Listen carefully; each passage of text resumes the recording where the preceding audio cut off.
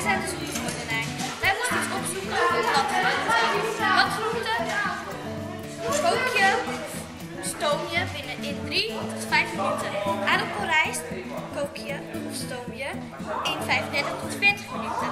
Rijst moet je eerst koken voordat je het gaat stomen. 5 minuten koken. Voor het, voor het stomen dan 20 tot 30 minuten stomen. Blijft bij het stomen. Als je het gaat koken, verandert de smaak.